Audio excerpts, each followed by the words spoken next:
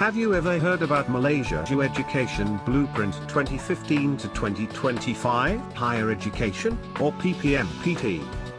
It was launched in 2015 by our Prime Minister. Globalized online learning is one of the 10 shifts listed in the blueprint. Center for Global Online Learning is given the task to move the conventional teaching to digital approach.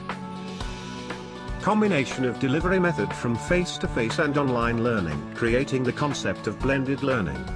For 2017, 50% of the courses are targeted to be delivered using blended learning approach.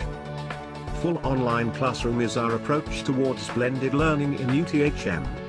In FOC, lectures and tutorial are conducted fully online. Face-to-face sessions are not required. To implement FOC, you may use the following platforms.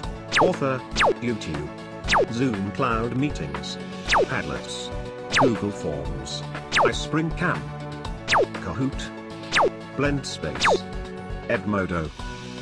To know more about FOC, please contact us, or log into our blog.